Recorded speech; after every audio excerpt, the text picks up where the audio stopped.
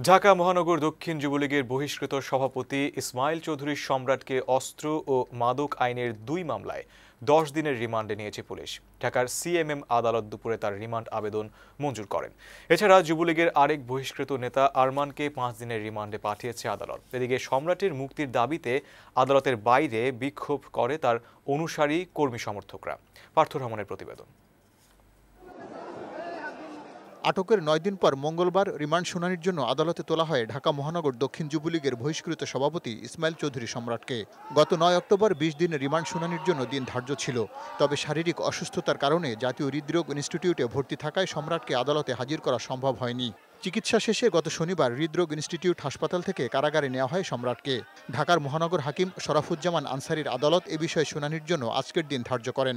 কেরানীগঞ্জ কেন্দ্রীয় কারাগার থেকে সকালেই তাকে আদালতে আনা হয়।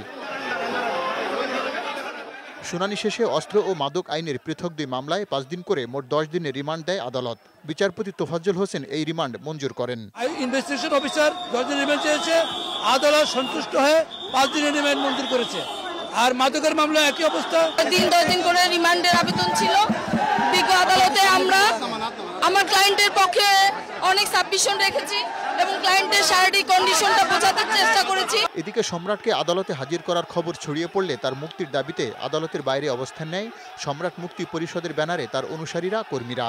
অসুস্থ সম্রাটের মুক্তির দাবিতে বিভিন্ন স্লোগান দিতে থাকে তারা। এ সময় আদালত পাড়াসহ আশপাশের সড়কে যান চলাচল বন্ধ হয়ে যায়। পরিস্থিতি মোকাবেলায় অতিরিক্ত পুলিশ মোতায়েন করা হয়। এ সময় আদালতের মূল ফটক বন্ধ করে দেয় পুলিশ। ক্যাসিনো ব্যবসা পরিচালনা ও নানা অভিযোগে ইসমাইল চৌধুরী সম্রাটকে আটক করা হয় ছয় অক্টোবর। পার্থ রহমান বৈশাখী সংবাদ ঢাকা।